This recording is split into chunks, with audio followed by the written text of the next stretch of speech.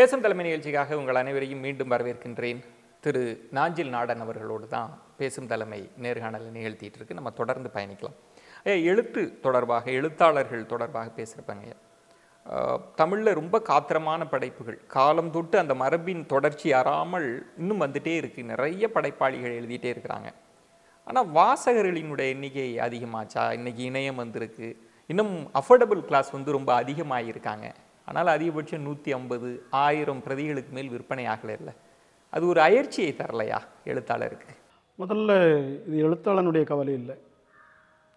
Number of copies number of எடிஷன்ஸுங்கிறது இப்போ தமிழ்நாட்டினுடைய மக்கள் தொகை நாலு கோடியாக இருந்தபோது கையால் லெட் உலோகத்தினால் அச்சுக்கோக்கப்பட்டு கொண்டிருந்த போது எந்த தமிழ் புத்தகமும் ஆயிரத்தி இருநூறு காப்பிகள் அச்சிடப்பட்டன.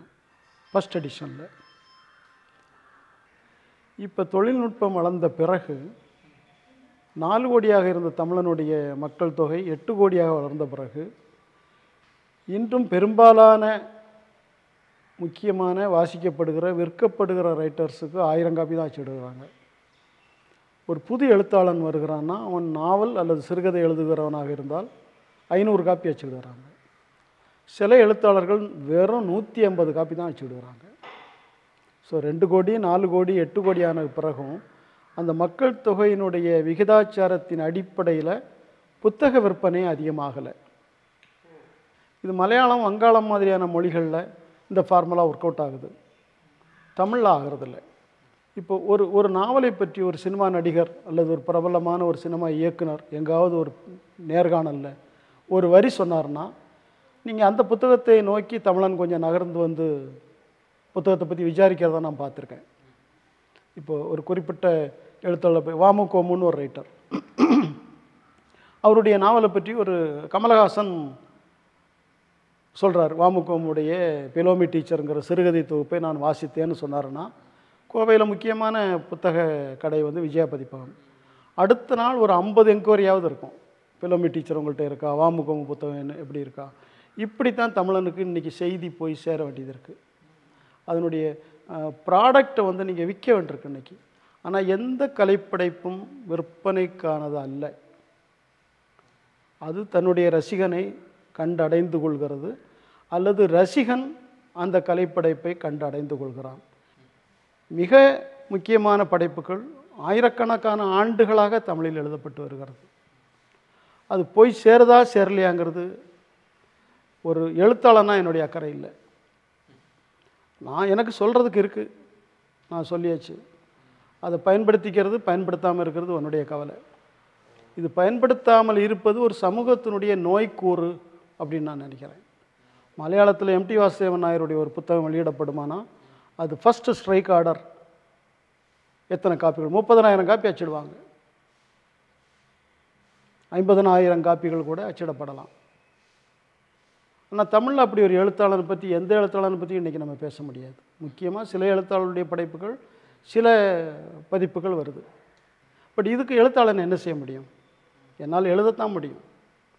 நான் வந்து ஒரு நோய்க்கான மருந்து எங்கிட்ட நல்ல மருந்து இருக்குது எங்கிட்ட வர்றவனுக்கு தானே நான் அதை மருந்தை பிரயோகிக்க முடியும். இது எல்லாருடைய வாயை இப்படி விரிச்சிட்டு அந்த மருந்தை வாயில் நான் ஊற்ற முடியாது.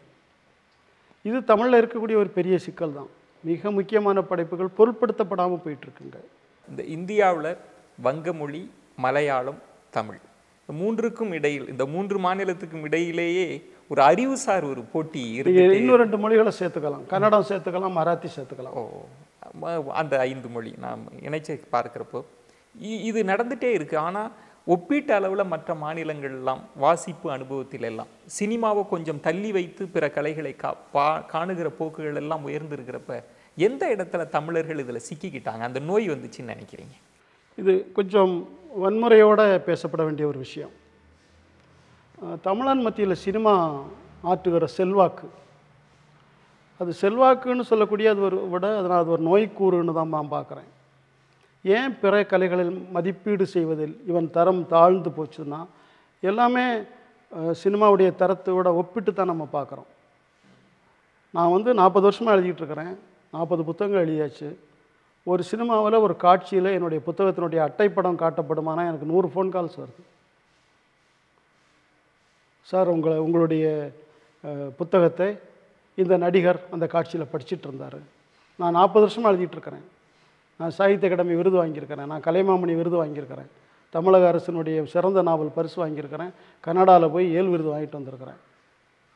என்னுடைய படைப்புகளில் இருபத்தஞ்சு பேர் பிஹெச்டி பண்ணியிருக்கிறாங்க. எம்ஃபில் பட்டதாரிகள் பற்றி நான் கணக்கு வச்சுக்கல. என்னை என்னுடைய படைப்புகள் வந்து பல பல்கலைக்கழகங்களில் பாடமாக இருக்குது ஆனால் இது இது பற்றி வந்து ஒரு ஒரு சராசரியான தமிழனுக்கு அக்கறை இல்லை.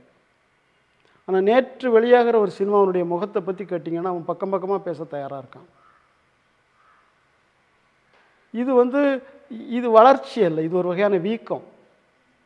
உங்கள் உடம்பு நீங்கள் மூணு அடி இருக்கீங்க நாலடி இருக்கீங்க ஆறடி வரைக்கும் வளர்றீங்கன்னா எல்லா உறுப்புகளும் சேர்ந்து வளரணும். உங்கள் கை வளரணும் கால் வளரணும் மூக்கு வளரணும் காது வளரணும். ஒரு கால் மாத்திரம் வளருது ஒரு விரல் மாத்திரம் வளருதுன்னு வைங்க. அது அது நோய் அது அது வளர்ச்சி அல்ல. இந்த நோய் தமிழ் சமூகத்தை கடந்த ஐம்பது அறுபது ஆண்டுகளுக்கு மேலாக பிடித்து கொண்டிருக்கிறதுன்னு நான் நினைக்கிறேன்.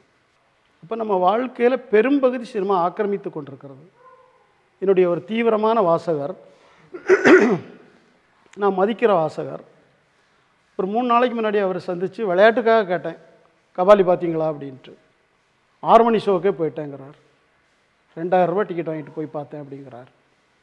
அவர் என்னுடைய வாசகனாகவும் இருக்கார். எனக்கு அந்த இடத்துல ஒரு பிரச்சனை வருது. எப்படி எப்படி இது எப்படி ரெண்டுமே சாத்தியமாகும்? காலையில் ஆறு மணிக்கு நீங்கள் ஒரு சினிமா பார்க்க போனோமானா ஐந்து மணிக்கு நீங்கள் வீட்டிலேருந்து கிளம்பணும். நாலு மணிக்கு அலாம் வச்சு எந்திரிச்சு குளித்து தயாராகி ஷேவ் பண்ணி பெர்ஃப்யூம்ஸ் அடிச்சுட்டு காரில் ஏறி கார்லேயோ டூ வீலரில் ஏறி உட்காந்துட்டு அதுக்கு தயாராக இருக்கிற ஒரு சமூகம் இது. இங்கே வந்து ஒரு முக்கியமான மிக முக்கிய முக்கியமான இளைய படைப்பாளியினுடைய ஒரு நாவல் நூற்றி ஐம்பது காப்பி அச்சிடப்படுகிறன்னு சொல்கிறபோது ஒரு தமிழனுங்கிற முறையில் என்னுடைய இதயம் அழுகுது. ஆனால் ஒரு படைப்பாளிங்கிற முறையில் நான் அதை பொருட்படுத்த மாட்டேன். உனக்கு உனக்கு எது தகுதியானதோ whatever you deserve you are getting it நீ இதுக்கு தான் தகுதியாக இருந்திருக்கிற. ஆனால் ஒரு சினிமா நமக்கு ரொம்ப முக்கியமாகப்படுது நான் சினிமாங்கிற கலைக்கு எதிரானவன் அல்ல. ஆனால் ஒரு சினிமாங்கிற கலை என்னுடைய சமூகத்தினுடைய உள்ளே விஷம் பாய்த்து கொண்டிருப்பான். நான் நிச்சயமாக அதுக்கு எதிர் எதிர்- எதிர்மறையானவன்.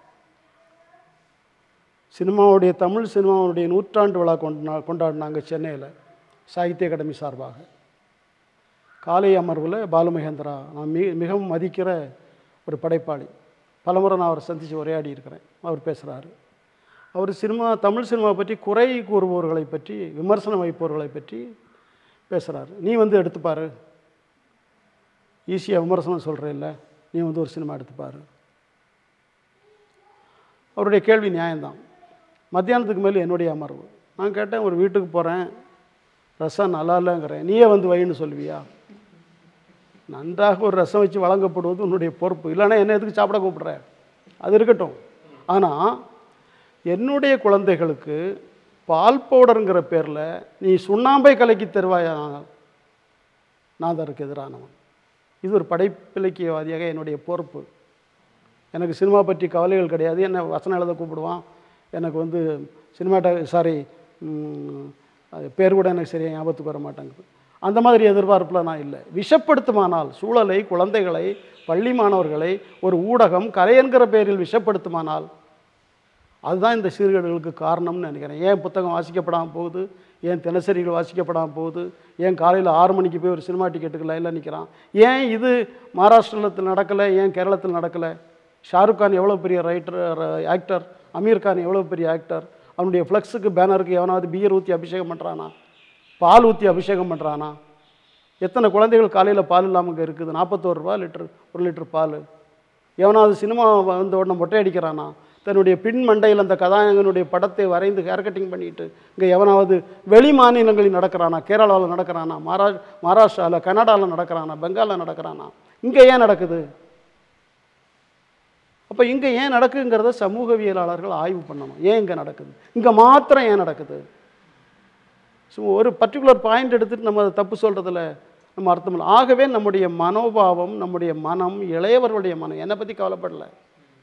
மை டேஸ் ஆர் கவுண்டட் இன்றைக்கோ நாளைக்கோ ரெண்டு வருஷம் கழிச்சோ. ஆனால் எட்டு வயசு பையன் ஆறு வயசு பையன் டிவியை பார்த்துட்டு அவன் ஆடுற ஆட்டத்தை பார்த்தா அவனுடைய டேலண்ட்டை பற்றி எனக்கு ஆச்சரியமாக இருக்குது ஹைலி டேலண்டட் சில்ட்ரன் அவங்க டான்ஸ் ஆடுற போது அவங்க உடல் மொழியில் வரக்கூடிய நாட்டியத்தை பார்த்தா எனக்கு ஆச்சரியமாக இருக்குது ஆனால் அவனுக்கு எதை நம்ம தர்றோம் எதை வழங்குகிறோம் இதை பற்றி பெற்றோர்களுக்கு அக்கறை இல்லை. என் பிள்ளை எப்படி ஆடுது அப்படிங்கிறாங்க. செக்ஸ் அப்பீல் முழுக்க சினிமா பாட்டு டான்ஸுகளில் பண்ணுறாங்க ஆபி ஆடையோட. ஆடை இல்லாமல் பண்ணான்னு அது கொக்கோ சாஸ்திரத்துக்கு போயிடும் ஆடையோடு பண்ணி காட்டுறாங்க. இது ஒரு எட்டு வயசு சிறுமி பன்னெண்டு வயசு சிறுமி பண்ணி காட்டுகிற போது இதை நினைத்து ஒரு ஒரு ஒரு ஒரு எழுத்தாளன் ஒரு இலக்கியவாதி அக்கறைப்படாமல் இருக்க முடியாது. இது உங்களுடைய நோயின் தொடக்கம்னு நான் நினைக்கிறேன். அந்த கலைக்கு உயிர் வாழ்வதற்கான எல்லா நியாயமும் இருக்குது சினிமா என்பது ஒரு மகத்தான கலை என்பது எனக்கு தெரியும். நானும் சினிமா பார்க்குறவன் உலகத்தரத்தில் அந்த சினிமாவை அனுபவிக்கிறவன். ஆனால் மற்ற எல்லா கலைகளையும் அழித்து விட்டு ஒரே ஒரு கலை வாழுமானால் உலகத்தில் இருக்கிற எல்லா கேம்ஸ் எல்லா ஸ்போர்ட்ஸையும் அழிச்சிட்டு கிரிக்கெட்டுங்கிற ஒரே ஒரு கேம் வாழுமானால் அது நம்மளால் பாசிட்டிவாக பார்க்க முடியாது. ஏன் ஃபுட்பால் இல்லையா உங்களுக்கு? உங்களுக்கு வந்து ஹாக்கி இல்லையா? எல்லாத்துக்கும் மேலே சி கிரிக்கெட்டுங்கிற ஒன்று தானே பிரதானமாக இருக்குது இந்திய மனத்துக்கு. அது மாதிரி தமிழ் மனத்துக்கு வந்து இந்த சினிமாங்கிற விஷயம் மிக மிக முக்கியமான இடத்துக்கு போய் சேர்ந்துருக்கு. ஸோ இதை நம்ம பேசுகிற போது நம்ம சினிமாவுக்கு எதிரானவன்னு பார்க்குறாங்க நான் பல இயக்குனர்கள் இருக்கிற மேடையில் இதை பேசியிருக்கேன் நான். இதை பேசித்தான் தர வேண்டியிருக்கு. கட்டாயமாங்க ஐயா. இன்னும் இன்னும் பேசலாம். ஒரு இடைவேளைக்கு பிறகு பேசலாங்க ஐயா. நான் முன்பே சொன்னது மாதிரி வந்து ஒரு எழுத்தாளன் சமூகத்தோடு உரையாட முடிகிறது. இன்னும் சொல்ல வேண்டுமென்றால் ஒரு எழுத்தாளனால் தான் ஒரு அறச்சீற்றத்தை இந்த சமூகத்தின் மீது நோக்கி அது அமில வார்த்தைகளால் அல்ல அறச்சீற்றத்தின் வார்த்தைகளால் வீச முடியும். அந்த தார்மீக உரிமை எழுத்தாளனுக்கு மட்டுமே இருக்க முடியும். அந்த விதத்தில் தான் பேசும் தலைமை. தமிழ் பண்பாட்டின் தமிழ் சமூகத்தினுடைய நுட்பமான கூறுகளை எல்லாம் ஒரு எழுத்தாளரின் கண்கொண்டு பார்த்து பேசி கொண்டிருக்கிறது. இன்னும் தொடர்ந்து இந்த எழுத்தாளரை பற்றியும் தெரிந்து கொள்ளலாம். அவருடைய ஆக்கங்கள் அவருடைய அனுபவங்கள். ஒரு சிறிய விளம்பர இடைவேளைக்கு பிறகு.